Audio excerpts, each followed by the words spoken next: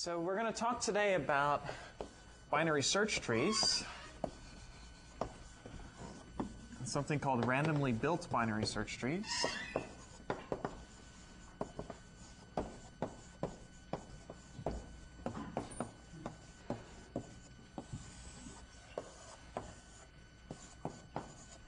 And I'll abbreviate binary search trees as BSTs throughout the lecture. And you've all seen binary search trees in one place or another, in particular recitation on Friday. So we're going to build off of the basic ideas presented there and talk about how to randomize them and make them good. So you know that there are good binary search trees, which are relatively balanced. Something like this. If the height is log n, we call them balanced, and that's good. Anything order log n will be fine. In terms of searching, will then cost order log n. And there are bad binary search trees, which have really large height, possibly as big as n. So this is good, and this is bad. We'd sort of like to know, we'd like to build binary search trees in such a way that they're good all the time, or at least most of the time. And there are lots of ways to do this, and in the next couple of weeks we'll see four of them if you count the problem set, I believe. Today we're going to use randomization to make them balanced most of the time in a certain sense. Uh, and then in your problem set, you'll make that in a broader sense. But the one way to motivate this topic, so I'm not going to define randomly built binary search trees for a little bit. One way to motivate the topic is through sorting, our good friend. So there's a natural way to sort n numbers using binary search trees. So if I give you an array A, how would you sort that array? Using binary search tree operations as a black box. Yeah. Build the binary search tree and then traverse it in order. Build the binary search tree and then traverse it in order. Exactly. So let's say we have some initial tree, which is empty, and then for each element of the array, we insert it into the tree. That's what you meant by building the search tree.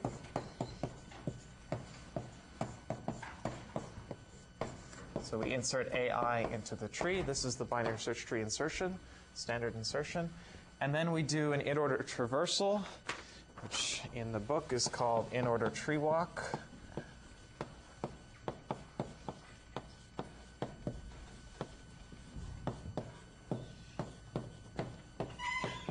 Okay, you should know what these algorithms are, but just for very quick reminder, tree insert walk basically searches for that element AI until it finds the place where it should have been if it was in the tree already, and then adds a new leaf there to insert that value. Tree walk recursively walks the left subtree, then prints out the root, and then recursively walks the right subtree. And by the binary search tree property, that will print the elements out in sorted order. So let's do a quick example because uh, this turns out to be related to another sorting algorithm we've seen already. So while the example is probably pretty trivial, the connection is pretty surprising. At least it was to me the first time I taught this class.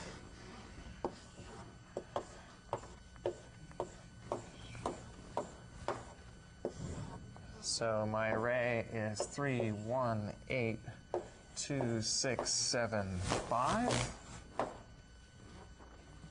And I'm going to visit these elements in order from left to right and just build a tree. So the first element I see is 3. So I insert 3 into an empty tree. That requires no comparisons. Then I insert 1. I see is 1 bigger or less than 3? It's smaller, so I put it over here. Then I insert 8. That's bigger than 3, so it gets a new leaf over here. Uh, then I insert 2. That fits between 1 and 3, and so it would fall off this right child of 1. So I add 2 there. 6 is bigger than 3, less than 8, so it goes here. 7 is bigger than 3, less than 8, bigger than 6, so it goes here. And 5 fits in between 3 and 5. 3 and 6, rather. And so that's the binary search tree that I get. Then I run an in order traversal, which will print 1, 2, 3, five, six, seven, eight. Okay, I can run that quickly in my head because I've got a big stack, but it, be a little bit careful. Of course, you should check that they come out in sorted order. One, two, three, five, six, seven, eight. And if you don't have a big stack, you can go and buy one. Always useful. Uh, memory costs are going up a bit these days, or going down, they should be, because of the uh, politics. But uh, price fixing, whatever. So the question is, what's the running time of this algorithm? And there's no, I mean, here, this is one of those answers where it depends. Uh, the parts that's easy to, to analyze are, well, initialization. The in-order tree walk, how long does that take? N, good. There's order n for the walk and for the initialization, which is constant. The question is, how long does it take me to do n tree inserts?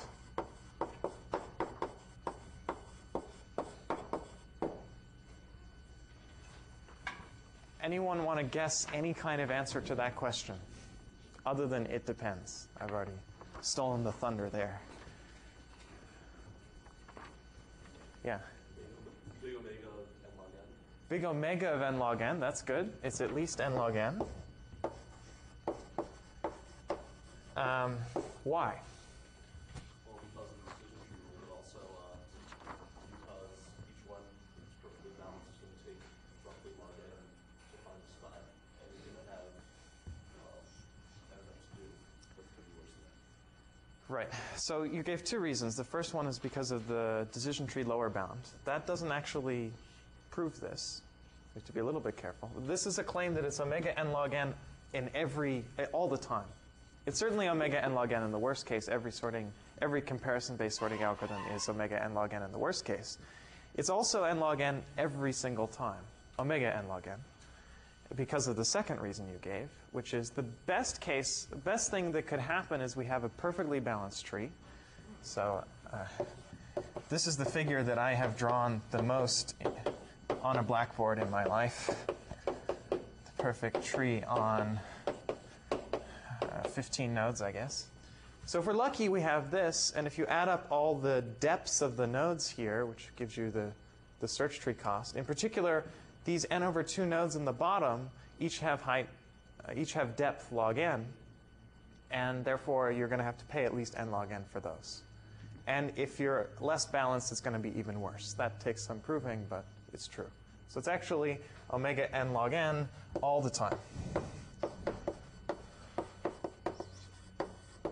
Okay, you've seen that there are some cases, like if you know that the elements are almost already in order, you can do it in linear, a linear number of comparisons. So, but here you can't. Any other guesses at an answer to this question? Yeah. Big O n squared. Big O n squared. Good. Why? Because you're doing n things and each of them are big of n because, you know, that's how many are in the. So. Right. We're doing n things, and each node has depth at most n. So the number of comparisons we're making per element we insert is at most n. So that's at most n squared. Um, any other answers? Is it possible for this algorithm to take n squared time? Is, are there instances where it takes theta n squared? If it's already sorted, that would be pretty bad.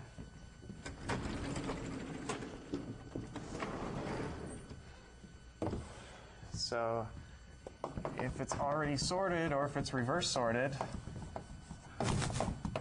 you're in bad shape because then you get a tree like this. This is the sorted case. And you compute, so the, the total cost, the, the time in general is going to be the sum of the depths of the nodes for each node x in the tree. And in this case, it's 1 plus 2 plus 3 plus 4, this arithmetic series. There's n of them, so this is theta n squared. It's like n squared over 2. So that's bad news. Some, the worst case running time of this algorithm is, is n squared. Does that sound familiar at all? An algorithm's worst case running time is n squared, in particular in the already sorted case? But if we're lucky, right, the lucky case would be if the, as we said, it's already, it's a balanced tree. Wouldn't that be great? Anything with omega log n height would give us a sorting algorithm that runs in n log n. So in the lucky case, we're n log n, but in the unlucky case, we're n squared. And unlucky is sorted. Remind you of any algorithm we've seen before? Yeah? Quick sort.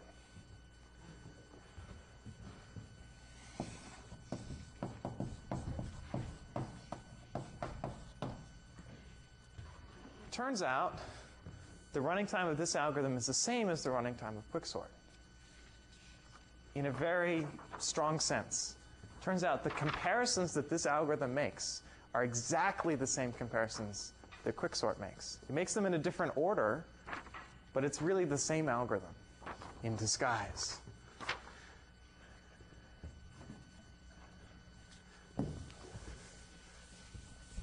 That's the, the surprise here. So in particular, we've already analyzed quicksort. We should get something for free out of that analysis.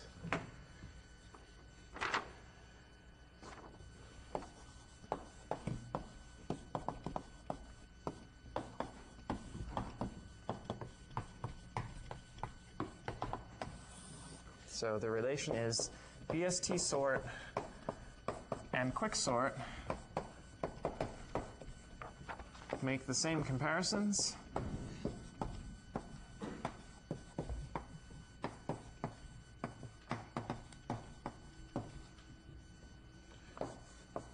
but in a different order.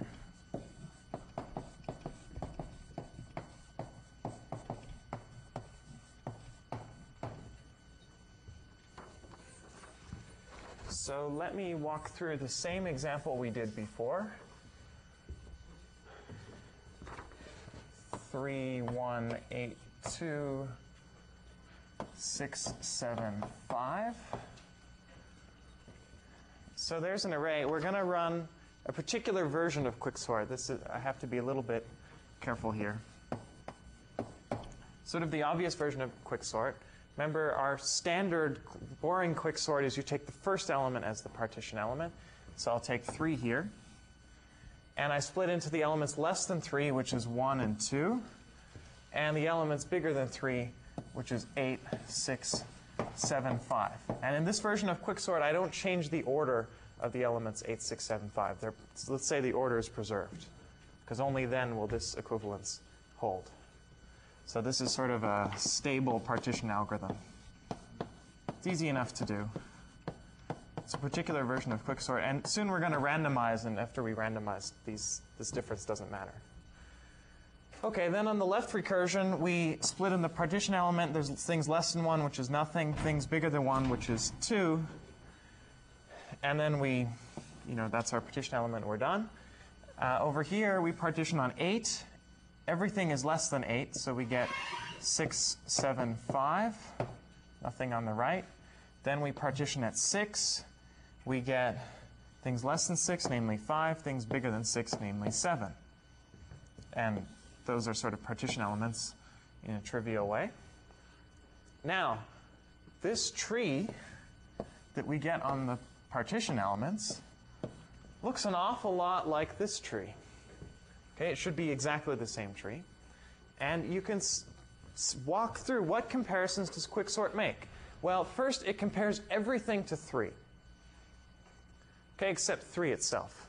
Now, if you look over here, what happens when we're inserting elements? Well, each time we insert an element, the first thing we do is compare with 3. If it's less than, we go to the left branch. If it's greater than, we go to the right branch. So we're making all these comparisons with 3 in both cases. Then if we have an element less than 3, it's either 1 or 2. If it's 1, we're done. No, no comparisons happen here, to, I mean 1 to 1. But we compare 2 to 1. And indeed, when we insert 2 over there, after comparing it to 3, we compare it to 1, and then we figure out that it happens here. Same thing happens in quicksort. It, for elements greater than 3, we compare every one to 8. Because uh, here, because we're partitioning with respect to 8, Here, because uh, that's the next node after 3, as soon as 8 is inserted, we compare everything with 8 to see, in fact, that it's less than 8, and so on. So all the same comparisons, just in a different order, sort of turn 90 degrees. Kind of cool. So this has various consequences in the analysis.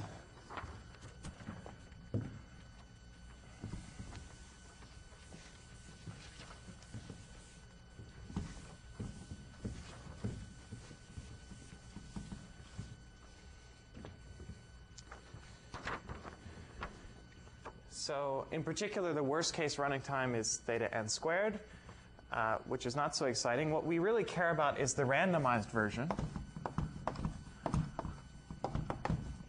because that's what performs well. So randomized BST sort is, the is just like randomized quicksort.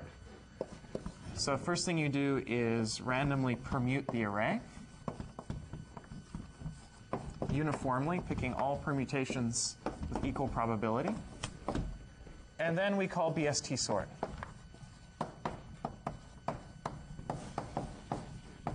Okay, this is basically what randomized quicksort could be formulated as. And then randomized BST sort is going to make exactly the same comparisons as randomized quicksort.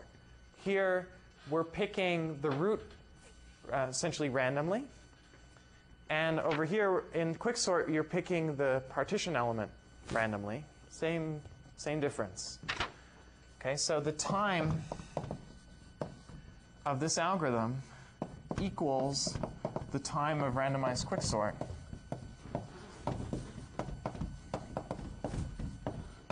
Because we're making the same comparisons, so the number of comparisons is equal.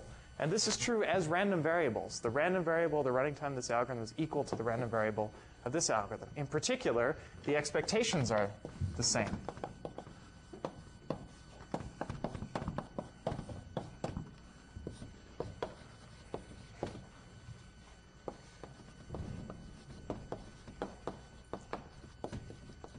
Know that the expected running time of randomized quicksort on n elements is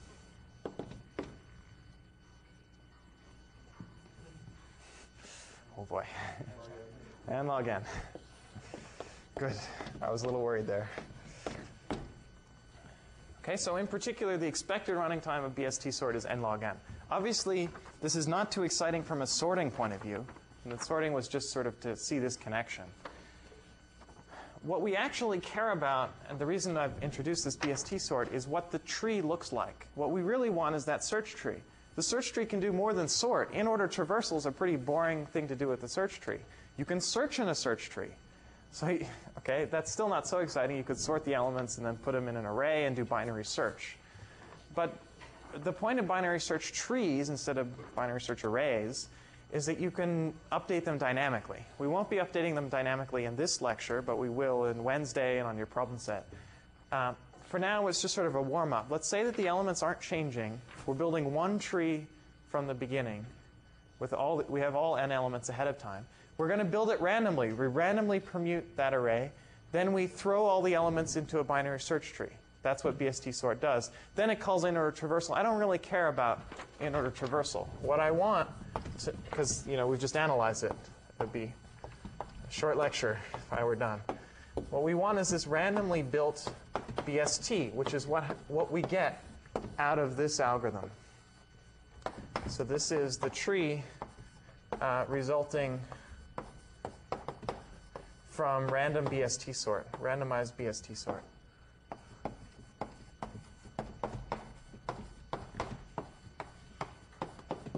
Resulting from randomly permuting the array and just inserting those elements using the, the simple tree insert algorithm. Question is, what does that tree look like? And in particular, is there anything that we can conclude out of this fact that the expected running time of BST sort is n log n? Okay, I've, I've mentioned cursorily what the running time of BST sort is several times. Um, it was the sum, so this is the time of BST sort. on n elements. It's the sum over all nodes x of the depth of that node.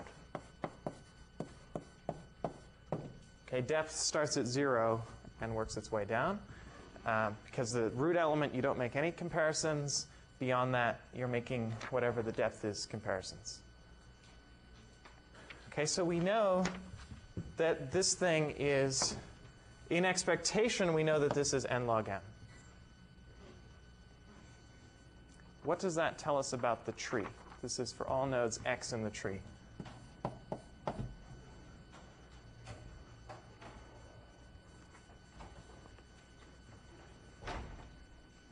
Does it tell us anything about the height of the tree, for example?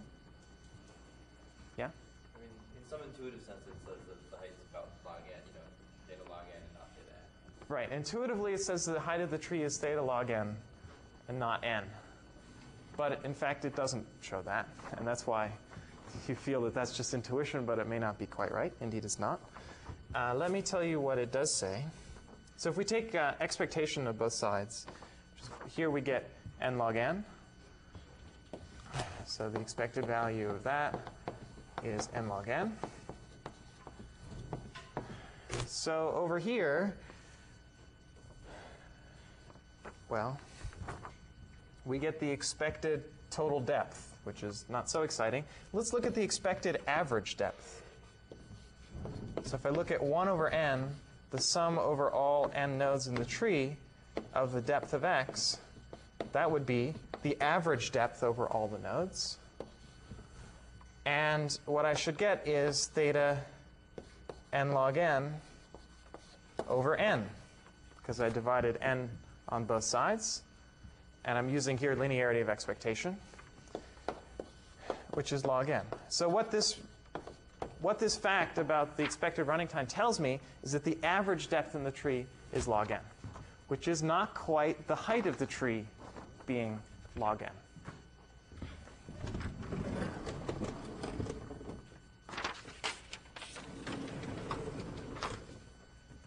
Okay, remember the height of the tree is the maximum depth of any node. Here we're just bounding the average depth.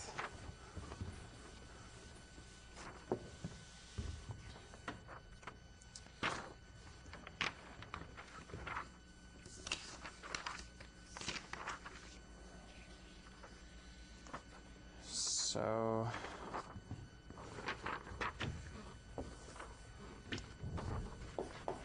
let's look at an example of a tree.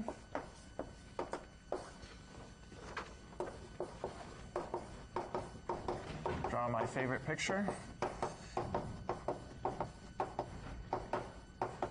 So here we have a nice balanced tree, let's say on half of the nodes or a little more. And then I have one really long path hanging off one particular leaf, doesn't matter which one. And I'm going to say that this path has length, well, the total height here, I want to make root n, which is a lot bigger than log n. This is roughly log n. It's going to be log of n minus root n or so, roughly. So most of the nodes have logarithmic height. And if you, compute, sorry, logarithmic depth, if you compute the average depth in this particular tree, for most of the nodes, let's say it's at most, uh, like half of the, uh, let's say, at most n of the nodes have height log n. And then there are root n nodes at most down here, which have depth at most root n. So let's say it's at most root n times root n. In fact, it's like half that, but not a big deal. So this is this is n. So this is n log n. Or sorry.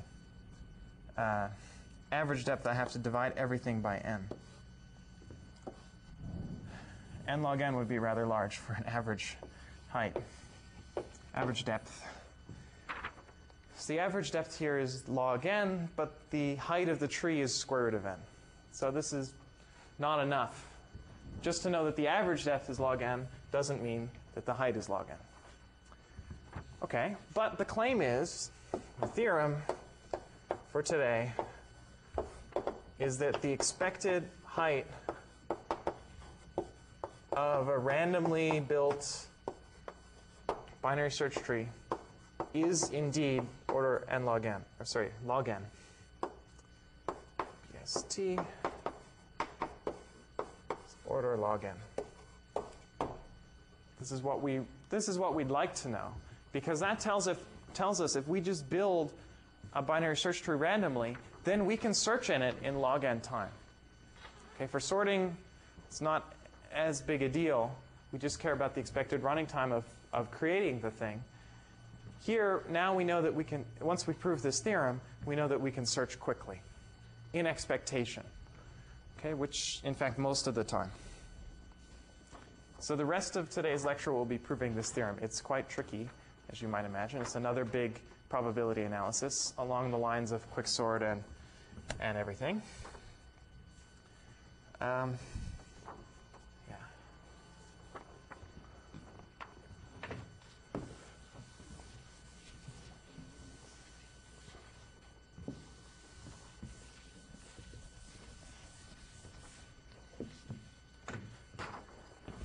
So I'm going to start with an outline of the proof.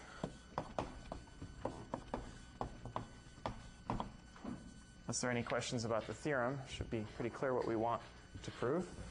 Uh, this is a, even weirder than most of the analyses we've seen. It's going to use a, a fancy trick, which is exponentiating a random variable. And to do that, we need a tool called Jensen's inequality.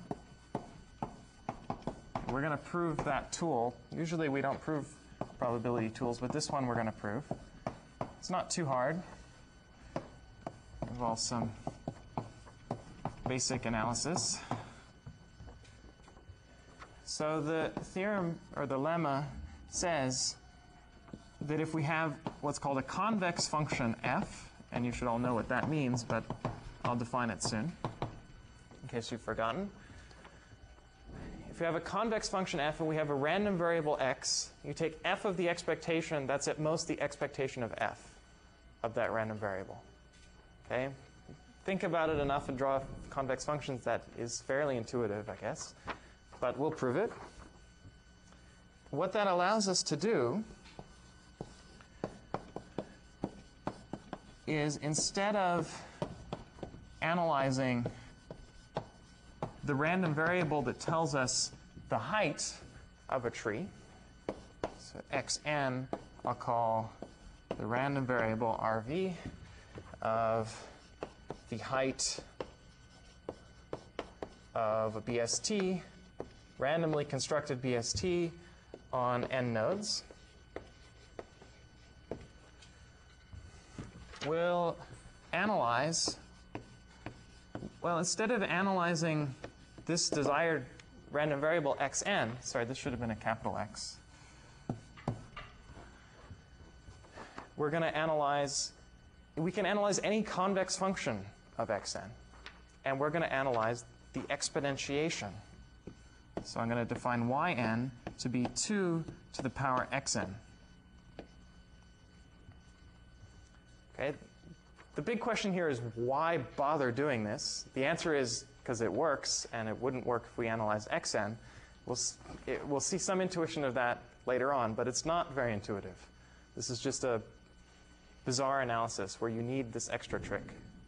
So we we are going to bound the expectation of yn, and from that, and using Jensen's inequality, we're going to get a bound on the expectation of xn, a pretty tight bound, actually. Because if we can bound if we can bound the exponent up to constant factors, the exponentiation up to constant factors, we can bound xn even better because it takes you take logs to get xn. So we'll even figure out what the constant is. So what we'll prove, this is the heart of the proof, is that the expected value of yn is order n cubed. Here we won't really know what the constant is. Don't need to. And then we put these pieces together. So let's do that. What we really care about is the expectation of xn, which is the height of our tree.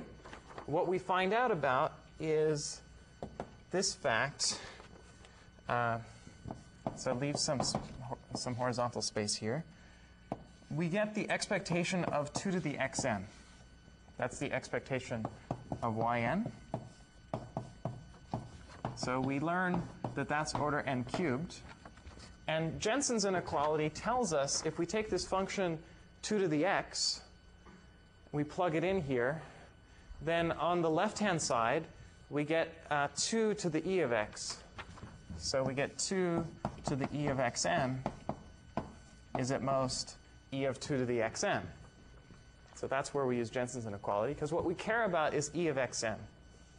So now we have a bound. We say, well, 2 to the e of xn is at most n cubed. So if we take the log of both sides, we get e of xn is at most the log of n cubed. Okay, I'll write it in this funny way, log of order n cubed, which will actually tell us the constant. This is 3 log n plus order 1. So uh, we will prove that the expected height of a randomly constructed binary search tree on n nodes is roughly 3 log n at most. Okay, I'll say more about that later.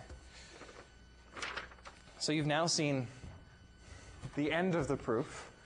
That's the foreshadowing. And now this is the, the top-down approach. So you sort of see what the steps are. Now we just have to do the steps.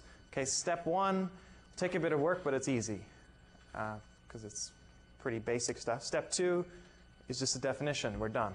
Step three is probably the hardest part. And step four, we've already done. So let's start with step one.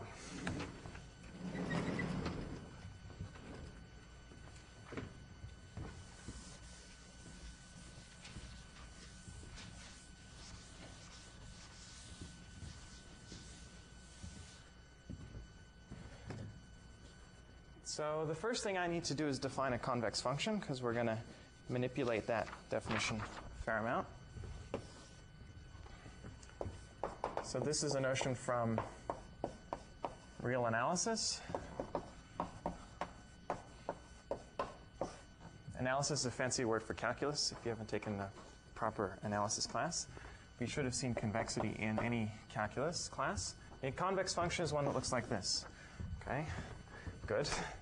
Um, one way to formalize that notion is to consider any two points on this curve. So I'm, I'm only interested in functions from reals to reals. So it, looks like this. This is f of something, and this is the something. If I take two points on this curve and I draw a line segment connecting them, that line segment is always above the curve. That's the meaning of convexity. Um, it has a geometric notion which is basically the same. But for functions, this line segment should stay above the curve. The line does not stay above the curve. If I extended it farther, it goes beneath the curve, of course. But that segment should. So I'm going to formalize that a little bit. I'll call this x, and then this is f of x. And I'll call this y, and this is f of y. So the claim is if I take any number between x and y, and I look up, and I say, okay, here's the point on the curve, here's the point on the line segment. The value of that point on the y value here should be greater than or equal to the y value here. Okay? To figure out what this point is, we need some, I would call it geometry. I'm sure it's an analysis concept too, but I'm a geometer, so I get to call it geometry. Um, if you have two points, P and Q, and you want to parameterize this line segment between them, so I want to parameterize some point here, the way to do it is to take a linear combination. And if you should have taken some linear algebra, linear combination looks something like this. And in fact, we're going to take something called an affine combination, where alpha plus beta equals 1.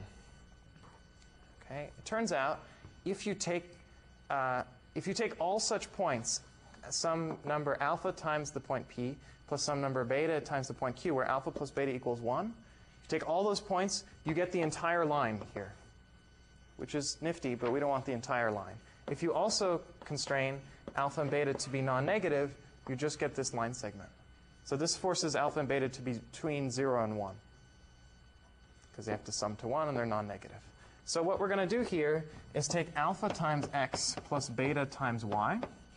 That's going to be our point in between. With these constraints, alpha plus beta equals 1, alpha and beta are greater than or equal to 0. Then this point is f of that. This is f of alpha x plus beta y. And this point is the linear interpolation between f of x and f of y, the same one. So it's alpha times f of x plus beta times f of y. Okay, that's the intuition. If you didn't follow it, it's not too big a deal because all we care about are, are these the symbolic answer for proving things. But that's where this comes from. So here's the definition. Uh, its function is convex if for all x and y and all alpha and beta greater than or equal to 0 whose sum is 1, we have f of alpha x plus beta y is less than or equal to alpha f of x plus beta f of y. So that's just saying that this y coordinate here is greater than this y, or is less than or equal to this y coordinate. Okay, but that's the symbolism behind that picture. Okay, so now we want to prove Jensen's inequality. Okay, we're not quite there yet. We're going to prove uh, a simple lemma from which it will be easy to derive Jensen's inequality. So this is the theorem we're proving.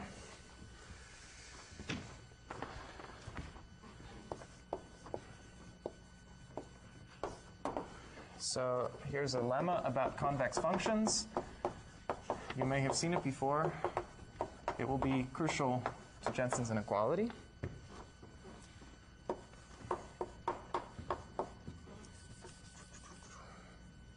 Yeah, okay. We have. So suppose this is a, a statement about affine combinations of n things instead of two things. So this will say that convexity can be generalized to taking n things. So suppose we have n real numbers and we have n values alpha i, alpha 1 up to alpha n. They're all non-negative and their sum is 1. So the sum of alpha k, I guess, k equals 1 to n is 1. So those are the assumptions. The conclusion is the same thing but summing over all k. So k equals 1 to n, alpha k xk. Take f of that versus taking the sum of the alphas times the f's. k equals 1 to n. So the definition of convexity is exactly that statement, but where n equals 2. Okay, alpha 1 and alpha 2 are alpha and beta. This is just a statement for general n.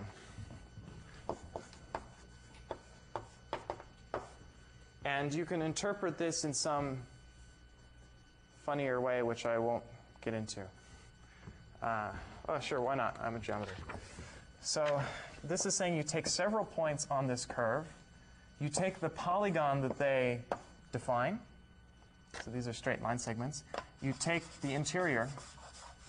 If you take an affine combination like that, you will get a point inside that polygon, or possibly on the boundary. The claim is that all those points are above the curve. Again, intuitively true from if you draw a nice canonical convex curve, but in fact it's true algebraically too. Always a good thing. Any suggestions on how we might prove this theorem? This is this lemma. It's pretty easy. So, what technique might we use to prove it?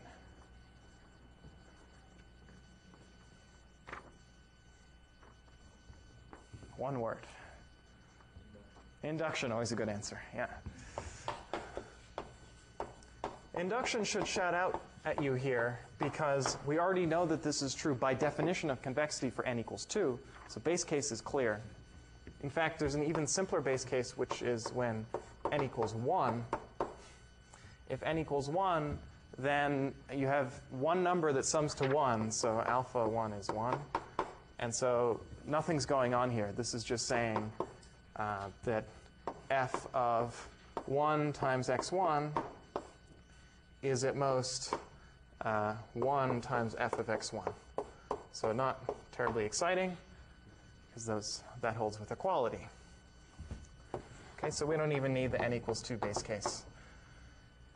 So the interesting part, although still not terribly interesting, is the induction step. This is good practice in induction.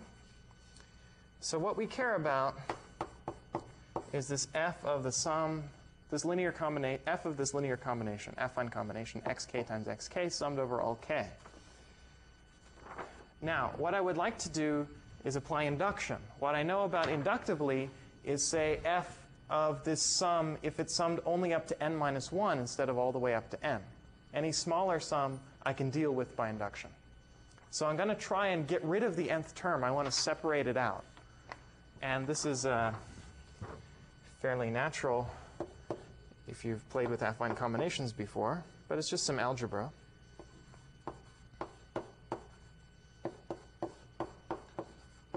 So I want to separate out the alpha n x n term.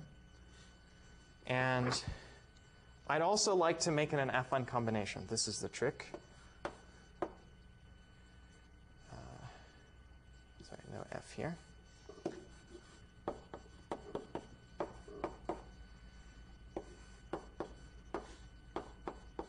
If I just removed the last term, the alpha k's from 1 up to n minus 1 wouldn't sum to 1 anymore. They'd sum to something smaller. So I can't just take out this term. I'm going to have to do some trickery here. xk, close the f. Good. So you should see why this is true, because the 1 minus alpha n's cancel. And then I'm just getting the sum of alpha k xk, k equals 1 to n minus 1, plus the alpha n xn term. So I haven't done anything here. These are equal. But now I have this nifty feature that on the one hand, these two numbers, alpha n and 1 minus alpha n, sum to 1. And on the other hand, if I did it right, these numbers should sum up to 1. Just going from 1 up to, k, 1 up to n minus 1. Why do they sum up to 1? Well, these numbers summed up to 1 minus alpha n. And so I'm dividing everything by 1 minus alpha n, so they will sum to 1. So now I have two affine combinations. I just apply the two things that I know. I know this, this affine combination will work because, well, why? Why can I say that this is alpha n f of xn plus 1 minus alpha n f of this crazy sum?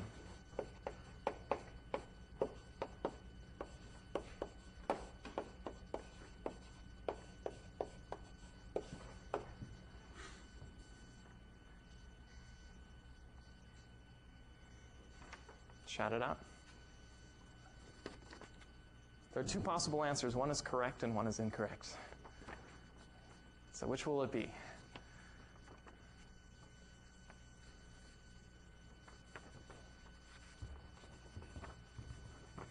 Oops, this should have been less than or equal to. It's important. It's on the board, can't be too difficult.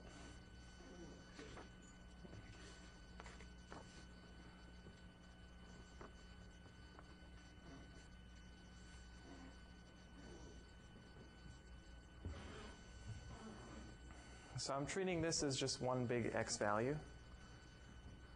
So I have some xn and I have some crazy x. I want f of the affine combination of those two x values is at most the affine combinations of the f's of those x values. This is is the inductive hypothesis with n equals 2. Unfortunately, we didn't prove uh, the n equals 2 case is a special base case. So we can't use induction here, the way that I've stated the base case. If you, set any, if you did n equals 2 base case, you could do that. Here we can't. So the other answer is? By convexity. Good. That's right here. Okay, so f is convex. We know that this is true for any two values of x uh, for any two x values, and provided these two sum to 1. So we know that this is true. Now is when we apply induction.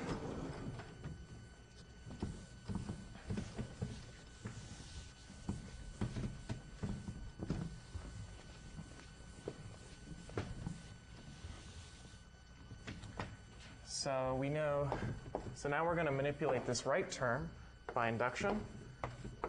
See, before we didn't necessarily know that n was bigger than 2. But we know that n is bigger than n minus 1. That much I can be sure of. So this is 1 minus alpha n times the sum k equals 1 to n minus 1 of alpha k over 1 minus alpha n times f of xk. I got that right. This is by induction. The induction hypothesis. Because these alpha k's over 1 minus alpha n's sum to 1, now these 1 minus alpha n's cancel, and we just get what we want. This is sum k equals 1 to n of alpha k f of xk. So we get that f of the sum is at most sum of the f's. That proves the lemma. Okay, a bit tedious, but each step is pretty straightforward. Hope you agree. Now, it turns out to be relatively straightforward to prove Jensen's inequality. That's the magic.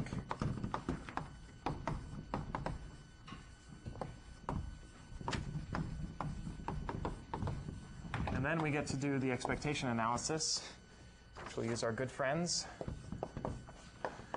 Indicator random variables. Okay, but for now, we just want to prove this statement.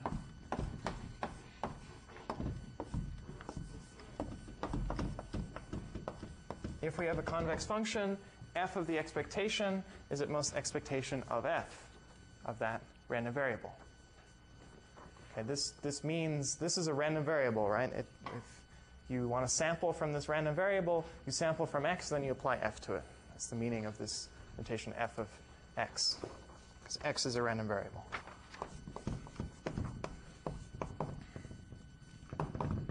We get to use that f is convex. Okay, it turns out this is not hard.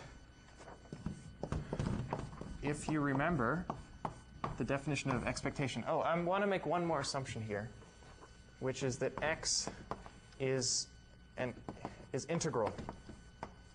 So it's an integer random variable, meaning uh, it takes integer values. Okay, that's all we care about because we're looking at running times. This statement is true for continuous random variables too, but I would like to do the discrete case. Because then I can to write down what e of x is. So, what is the definition of e of x? x only takes on integer values. This is easy, but you have to remember it. Good drill.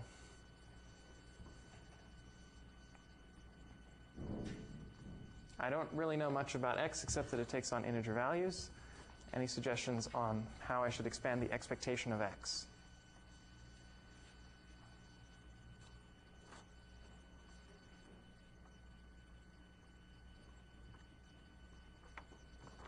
How many people know this by heart? Okay, it's not too easy then. Well, expectation has something to do with probability, right? So I should be looking at something like the probability that x equals some value x. That would seem like a good thing to do.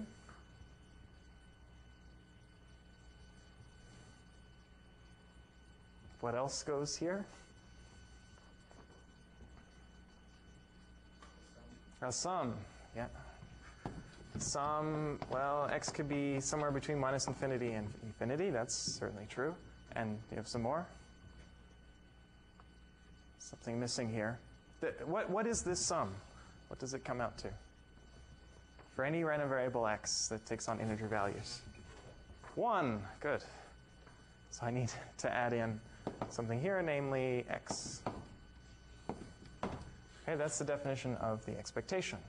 Now, f of a sum of things where these coefficients sum to 1 looks an awful lot like the lemma that we just proved. Okay, we proved it in the finite case. It turns out it holds just as well if you take all integers. I'm just going to assume that. So I have these alpha, these probabilities, these alpha values, sum to 1. Therefore, I can use this inequality that this is at most, uh, get this right. I have the alphas, so I have a sum, x equals minus infinity to infinity, of the alphas, which are probability capital X equals little x, times f of the value, f of little x. Okay, so there it is. I've used the lemma, so maybe now I'll erase the lemma.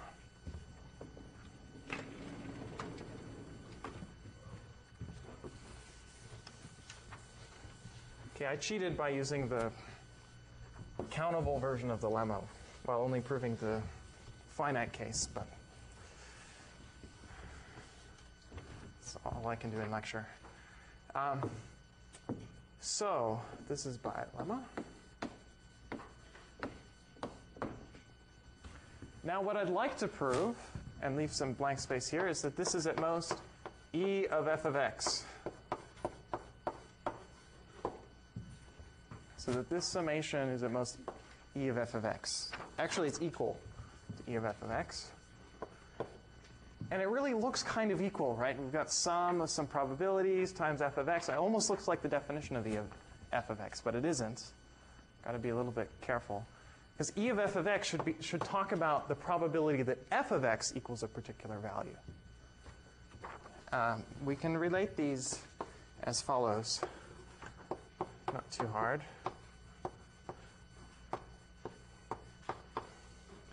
You can look at each value that f takes on.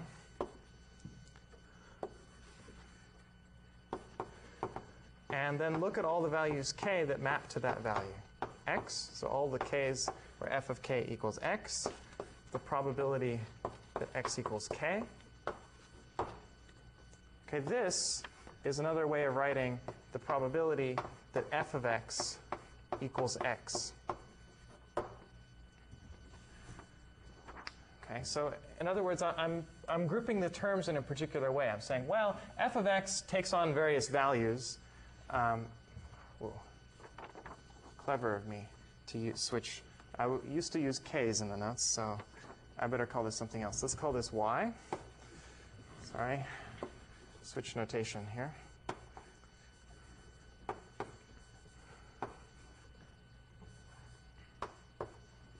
Makes sense, probability. I should look at the probability that x equals x. So what I really care about is what this f of x value takes on. Let's just call it y. Look at all the values y that f could take on. That's the range of f. And then I'll look at all the different values of x where f of x equals y. If I add up those probabilities, uh, because these are different values of x, those, those are sort of independent events. Um, so this summation will be the probability that f of x equals y. This is capital X. This is little y. And then if I multiply that by y, I'm getting the expectation of f of x. So think about this. These two inequalities hold.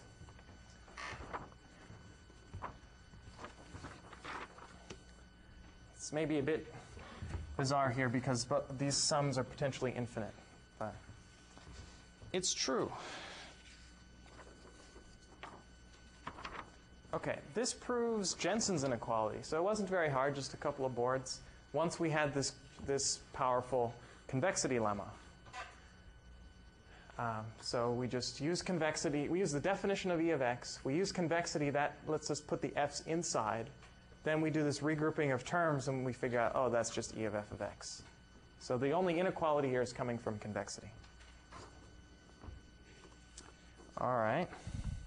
Now comes the algorithms. So this was just some basic probability stuff, which is good to practice. Okay, we could see in the quiz, which is not surprising, this is the case for me too. You have a lot of intuition for algorithms. Whenever it's algorithmic, it makes a lot of sense because you're sort of grounded in something that you know because you're computer scientists or something of that ilk. For the purposes of this class, you're computer scientists. Um, but with sort of the basic probability, unless you happen to be a mathematician, it's uh, less intuitive and therefore harder to get fast. And in quiz one, speed is pretty important. On the final, speed will also be important. The take home certainly doesn't hurt. So the take home is more interesting because it requires being clever. You have to actually be creative. And that really tests algorithmic design. So far, we've mainly tested analysis and just can you work through probability? Can you figure out what the, can you remember what the running time of randomized quicksort is, and so on. Uh, quiz 2 will actually test creativity because you have more time. It's hard to be creative in two hours. Okay, so we want to analyze the expected height of a randomly constructed binary search tree. So as I've defined this before, but let me repeat it because it was a while ago, almost the beginning of lecture. I'm going to take the random variable of the height of a randomly built binary search tree on n nodes.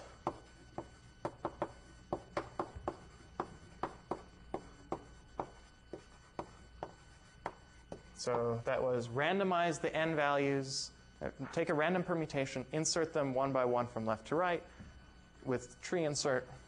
What is the height of the tree that you get? What is the maximum depth of any node? I'm not going to look so much at xn, I'm going to look at the exponentiation of xn. And still we have no intuition why, but 2 to the x is a convex function. Okay, it looks like that. It's very sharp. That's my best I can do for drawing uh, 2 to the x. You saw how I drew my histogram. Um, okay, so we want to somehow write this random variable as something, okay, in some algebra. And the main thing here is to split into cases. That's how we, how we usually go, because there's lots of different scenarios of what happens. So, I mean, how do we construct a tree from the beginning? First thing we do is we take the first node, we throw it in, make it the root. Okay, so whatever the first value happens to be in the array, which we don't really know how that falls in the sorted order, we put it at the root. And it stays the root. We never change the root from then on. Now, of all the remaining elements, some of them are less than this value, and they go over here. So let's call this r for the root. And some of them are greater than r, so they go over here. Maybe there's more over here, maybe there's more over here. Who knows? Arbitrary partition. In fact, uniformly random partition, which should sound familiar. Whether there are k elements over here and, and n minus k minus 1 elements over here is, uh, for any value of k, that's equally likely because this is chosen uniformly. The root is chosen uniformly. It's the first element in a random permutation. So what I'm going to do is parameterize by that. How many elements are over here and how many elements are over here? Because this thing is again a randomly built binary search tree on however many nodes are in there. Because after I pick R, it's determined who's to the left and who's to the right. And so I can just partition, it's like running quicksort. I partition the elements left of R, the elements right of R, and I'm sort of recursively co constructing a randomly built binary search tree on those two subpermutations, because subpermutations of uniform permutations are uniform. Okay, so these are essentially recursive problems, and we know how to analyze recursive problems. All you need to know is that there are k minus 1 elements over here and n minus k elements over here. And that would mean that R has rank k. Remember, rank in the sense of the index in the sorted order. So,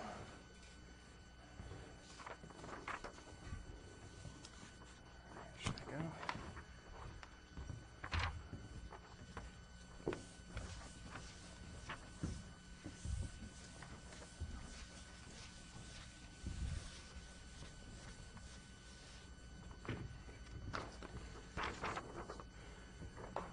So if the root r has rank k,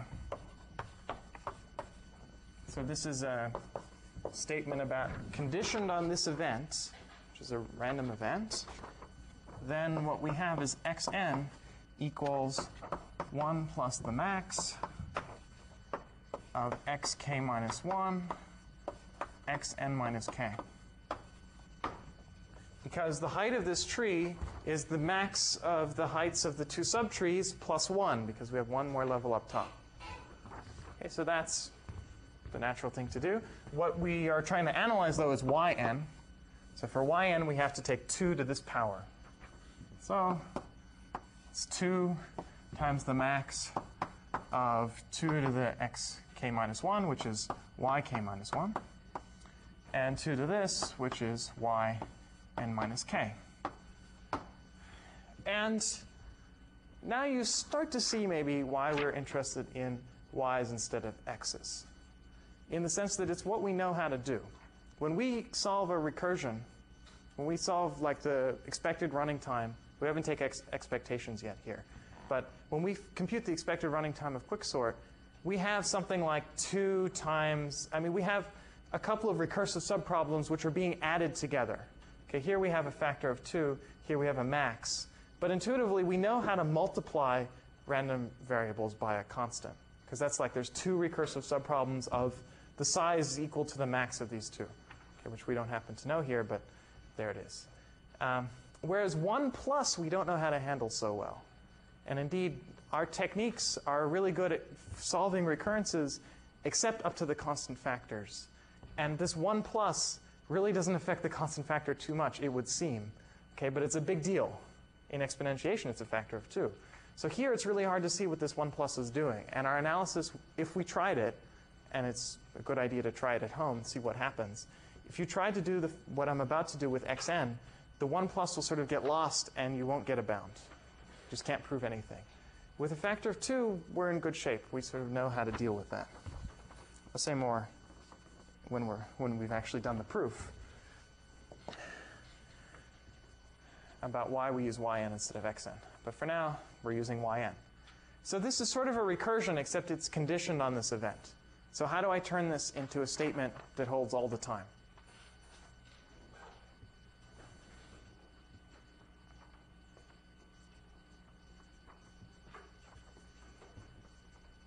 This should, sorry? Divide by the probability of the event, more or less. Uh, indeed.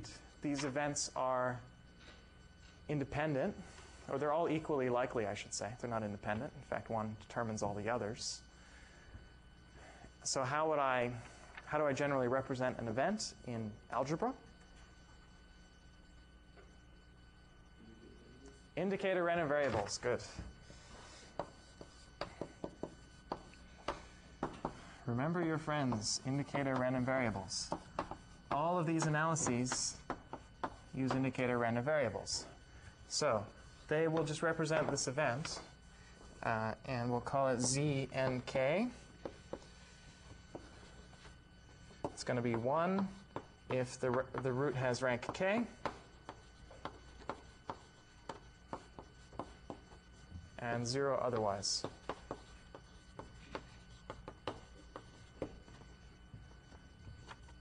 So in particular, the probability of these things are all equally likely. For a particular value of n, if you try all the values of k, the probability that this equals 1, which is also the expectation of that indicator random variable, which you should know, because it only takes values 1 or 0. The 0 doesn't matter in the expectation. So uh, this is going to be, hopefully, 1 over n. I got it right. So there are n possibilities of what the rank of the root could be. Each of them is equally likely because we have a uniform permutation. So now I can rewrite this conditional statement as a summation where the z and k's will let me choose what case I'm in. So we have yn is the sum, k equals 1 to n, of znk times 2 times the max of x sorry, y, k minus 1, y, n minus k.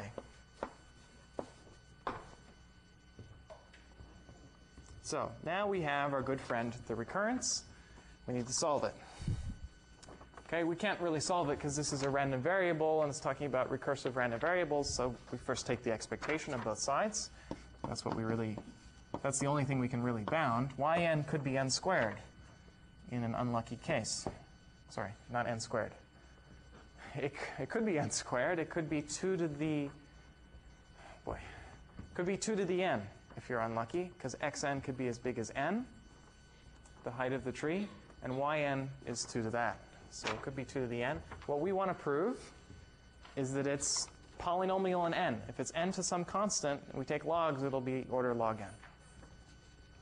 Okay, so we'll take the expectation, and hopefully that will guarantee that this holds. Okay, so we have expectation of this summation of random variables times recursive uh, random variables.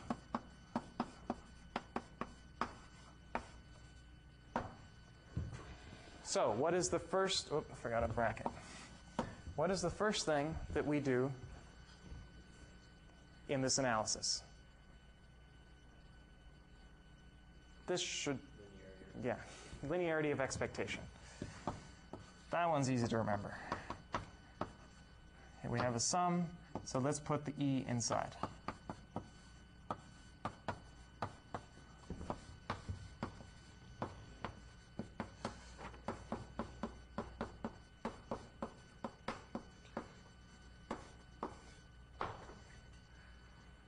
Okay. Now we have the expectation of a product. What should we use? Independence. Hopefully things are independent. And then we could write this. Then it would be the expectation of the product. And heck, let's put the 2 outside because it's not no sense in keeping it in here.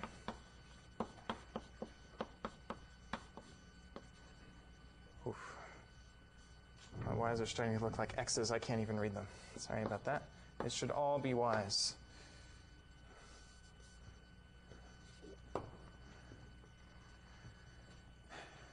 Okay. Very wise random variables. So why are these independent? So here we're looking at the choice of what the root is, what rank the root has in a problem of size n. In here, we're looking at what the root, I mean, there are various choices of what the search tree looks like in the stuff left of the root and in the stuff right of the root. Those are independent choices because everything is uniform here. So the choice of this guy was uniform, and then that determines who partitions in the left and the right. Those are completely independent recursive choices of who's the root at, in the left subtree, who's the root in the left of the left subtree, and so on. So these this is a little trickier than usual. Before it was random choices in the algorithm, now it's in some construction that where we choose the random numbers ahead of time. It's a bit funny, but this is still independent, so we get this just like we did in quicksort and so on.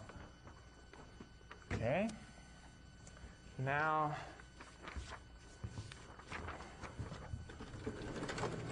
we continue.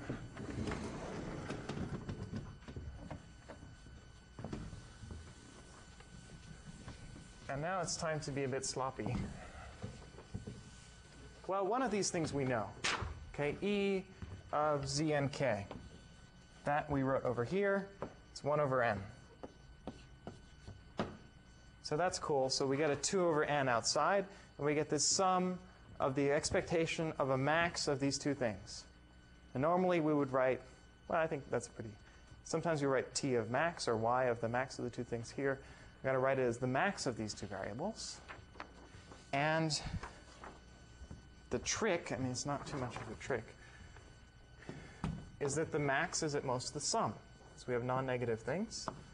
So we have 2 over n sum k equals 1 to n of the expectation of the sum instead of the max. Okay, this is in some sense the key step where we're losing something in our bound. So far, we've been exact. Now we're being pretty sloppy. It's true this maxes at most the sum, but it's a pretty loose upper bound as things go. Okay, keep that in mind for later. What else can we do with this summation? This should again look familiar. Now, now that we have a sum of a sum of two things, kind of like it to be a sum of one thing.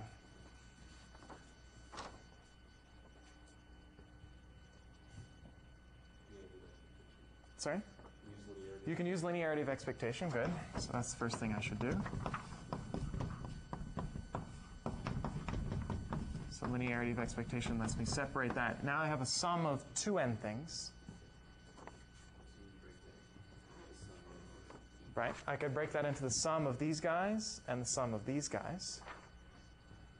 You know anything about those two sums?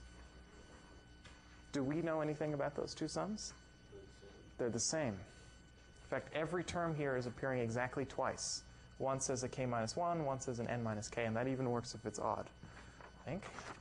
So, in fact, we can just take one of the sums and multiply it by 2. So this is 4 over n times the sum, and I'll rewrite it a little bit, from 0 to n minus 1 of e of yk. Just check the number of times that each yk appears from 0 up to n minus 1 is exactly 2. So now I have a recurrence. I have e of yn is at most this thing. Just write that for memory. It's at most that. Cool. Now I just have to solve the recurrence. How should I solve an ugly, hairy recurrence like this? Substitution, yay! Not the master method. Okay. It's pretty nasty recurrence. So I'm going to make a guess, and I've already told you the guess, that it's n cubed. Uh, I think n cubed is pretty much exactly where this, this proof will be obtainable.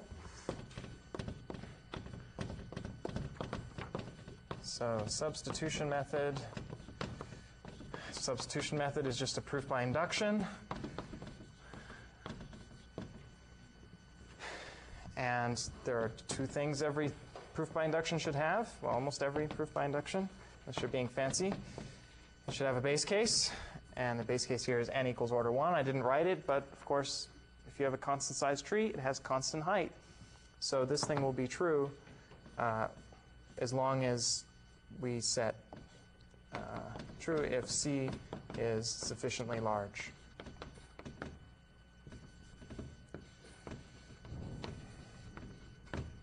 Okay, so don't forget that. A lot of people forgot it on the quiz. We even mentioned the base case. Usually we don't even mention the base case, and you should assume that there's one there, and you have to say this in any proof by substitution. Okay, now we have the induction step. So I claim that E of yn is at most C of n cubed, assuming that it's true for smaller n.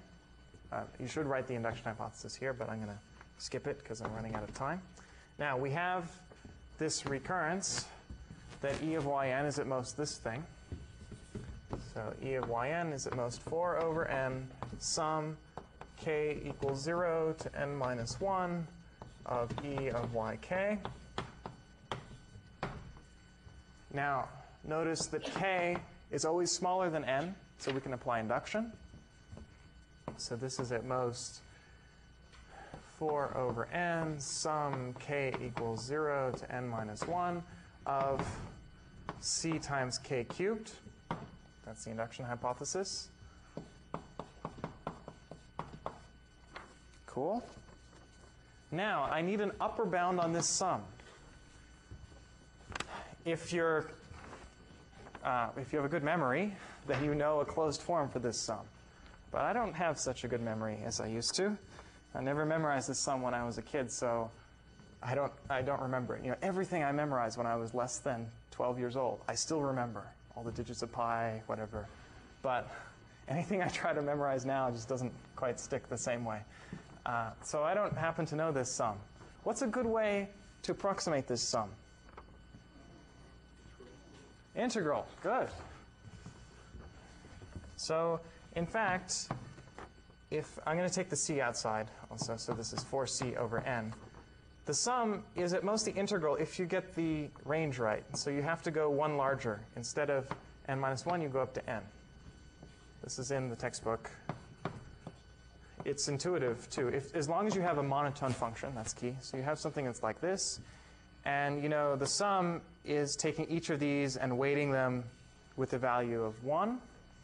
The integral is computing the area under this curve. So in particular, if you look at this approximation of the integral, then, I mean, this thing is certainly, this would be the sum if you go one larger at the end, and that's at most the integral. So that's proof by picture. But you can see this in the book. You should know it from 042, I guess. Now, integrals, hopefully you can solve. Integral of x cubed is x to the fourth over 4, right? Yeah. Got it right. And then we're valuing that at n, and at 0, subtracting k to 0 doesn't matter because 0 to the fourth power is 0. So it's just n to the fourth over 4. So this is 4c over n times n to the fourth over 4. And conveniently, this 4 cancels with this 4. The 4 turns into a 3 because of this, and we get n cubed. Uh, we get c n cubed. Damn convenient because that's what we wanted to prove. Okay, so this proof is just barely snaking by. No residual term. We've been sloppy all over the place, and yet we were really lucky and we, we were just sloppy in the right places. So this is a very tricky proof. If you just try to do it by hand, uh, it's pretty easy to be too sloppy and, and not get quite the right answer. But this just barely works. So let me say a couple things about it um, in my remaining one minute. So we can do the conclusion again. I won't write it because I don't have time, but here it is. Uh, we just proved a bound on yn, which was 2 to the power xn. What we cared about was xn. So we use Jensen's inequality. We get that 2 to the e of xn is at most e of 2 to the xn. This is what we know about because that's yn. So we know e of yn is now order n cubed. Okay, we had to set this constant sufficiently large for the base case. We didn't really figure out what the constant was here. Didn't matter because now we're taking the logs of both sides. Get e of xn is at most log of order n cubed. This constant is a multiplicative constant, so you take the logs, it becomes additive. This constant is an exponent, so it take logs, it becomes a multiple. We get 3 log n plus order 1. This is a pretty damn tight bound on the height of a randomly built binary search tree, the expected height, I should say. In fact, the expected height of xn is equal to, uh, well, roughly, I'll just say it's roughly, I don't want to be too precise here, 2.9882 times log n. This is a result by a friend of mine, Luc Devroye. I can spell it right. In 1986, he's a professor at McGill University in Montreal. So we're pretty close, 3 to 2.98, and I won't prove this here. And the hard part here is actually the lower bound, that it's only that much. Um, right, I should say a little bit more about why we use yn instead of xn. And it's all about the sloppiness. And in particular, this step, where we said that the, ma the max of these two random variables is at most the sum. And while that's true for x just as well as it is true for y, it's more true for y. Okay, this is a bit weird. Because uh, remember, what we're analyzing here is all possible values of k. This has to work no matter what k is, in some sense. I mean, we're bounding all of those cases simultaneously, the sum of them all. So here we're looking at k minus 1 versus n minus k. And in fact, here there's a polynomial version. But so if you take uh, two values, a and b, and you say, well, max of ab is at most a plus b. And on the other hand, you say, well, max of 2 to the a and 2 to the b is at most 2 to the a plus 2 to the b. Doesn't this feel better than that? Well, they're of course the same. But if you look at a minus b, as that grows, this becomes a tighter bound faster than this becomes a tighter bound. Because here we're looking at absolute value, absolute difference between a minus b. So that's why this is pretty good and this is pretty bad. We're still really bad if a and b are almost the same. But we're trying to solve this for all uh, partitions into k minus 1 and n minus k. So it's okay if we get a few of the cases wrong in the middle where it evenly partitions. But as soon as you get some skew, this will be very close to this, whereas this will be still pretty far from this. You have to get pretty close to the edge before you're not losing much here, whereas pretty quickly you're not losing much here. That's the intuition. Try it, see what happens with xn, and it won't work. See you Wednesday.